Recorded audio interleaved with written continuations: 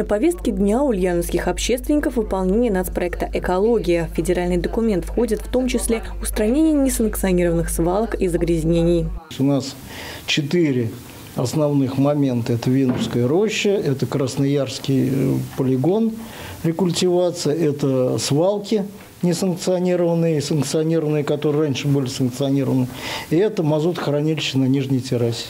Некоторые работы идут, к сожалению, с перерывами. Например, временно была приостановлена рекультивация мусорного полигона около Красного Яра. От загрязнений страдали более сотни тысяч жителей Ульяновской области. На воплощение идеи было направлено более 400 миллионов рублей. Работы планировали завершить в ноябре прошлого года, но этого не случилось. Это возникло в связи с тем, что у нас было исковое а, э, судебное разбирательство, и, а, соответственно, погодные условия не позволяли проводить работы. А, планируется завершить работы до конца июля. Далее у нас там останутся технические нюансы. Не по плану проходит и ликвидация нефтезагрязнения Виновской роще. Расчищать придется больше, чем планировалось изначально, поэтому работы все еще не завершены. Для оперативного решения проблемы начала следующих работ на заседании обсудили вопросы возможного дополнительного финансирования объектов, в том числе и из федерального бюджета. Юлия Адамова, Анатолий Рассохин, Улправда ТВ.